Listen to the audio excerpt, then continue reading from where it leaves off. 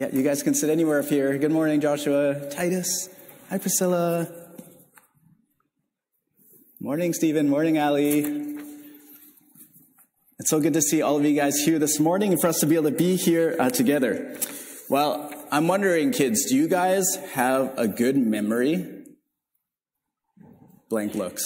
Do you have a, a good brain? Blank looks. Okay, we'll, we'll warm up the brains a little bit. I'm going to read you one Bible verse, and then there's going to be a small test. But it won't be that hard of a test, okay? But be a small test, okay? So let's think, and let's read this together. You guys probably know this verse. The Lord is my shepherd, I shall not want. The Lord is my shepherd, I shall not want. Do you think you guys can memorize that? Is that a lot of words? The Lord is my shepherd, I shall not want. Okay, test. Can you guys say it? The Lord is my shepherd, I shall not want. Okay, with the mask, it's hard for me to tell, but I see, I see some movement.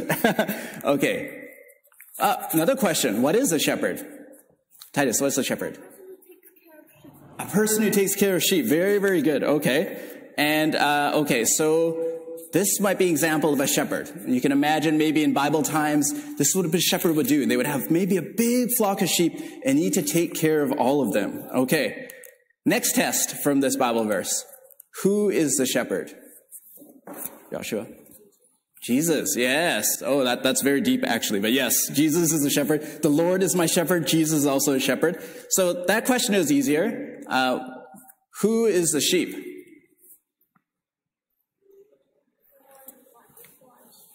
Who is the sheep? You are? People. People? We are? Yes. We are actually sheep as well. And so if you know a little bit about sheep, they can get lost. They don't always know how to feed themselves. They don't always know how to find water. So when we look at Psalm 23, we're going to be learning about the idea that God is actually our shepherd. And this is what our whole church is named after, actually. And so do you guys see the green banner over there? Look there. See the Good Shepherd? This is what our church is actually named after, Church of the Good Shepherd. And if you go to our beautiful website, kind of new website, you'll see our name is Good Shepherd Vancouver.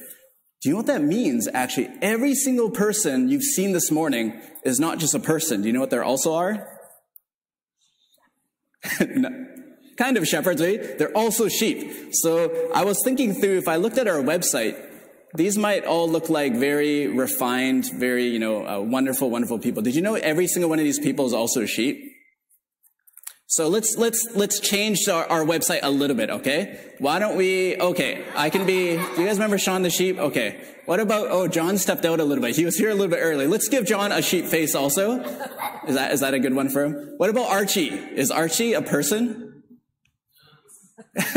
he is, but he's also a sheep. I thought that one suited Archie. Oh, Titus, this one's for your dad, okay?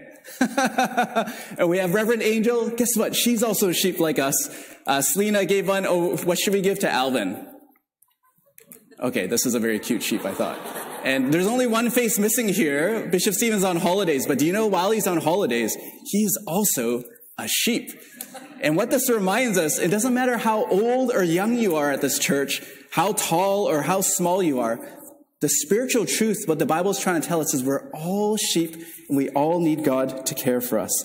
And so that's really, really important. I hope you can remember this. This is a little visual for us to remember. So, uh, children, let's pray together, uh, remembering uh, that we actually all need God to shepherd us uh, together. So, church, would you join us? And children, let's pray together.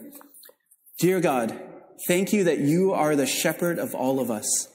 Thank you that you know us by name. Help us follow you trust you, and love you. We ask this in Jesus' name. Amen. All right, thanks, kids. You can go back to your seats now for the sermon.